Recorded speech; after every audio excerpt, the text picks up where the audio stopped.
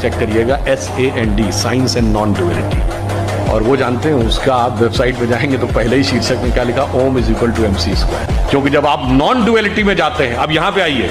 Einstein ने जो theory the is equal to M C square मतलब एनर्जी मास कन्वर्जन इक्वेशन तो non duality में सिर्फ़ एनर्जी है। जब आप मास में आते हैं तो दो चीज़ें हैं ना mass and energy but finally मतलब 1900 से पहले सिर्फ़ law of conservation of mass था। यानी हम मानते थे एक मास दूसरे में चेंज होता है। अब law of conservation of energy है। अब एनर्जी दूसरे में एनर्जी होती है। और फिर मैं कहना चाहता हूँ, मैं किसी दूसरे पे कमेंट नहीं कर रहा हूँ। हमारा ही एकमात्र अंतिम संस्कार है जिसमें मास एनर्जी में कन्वर्ट होता है।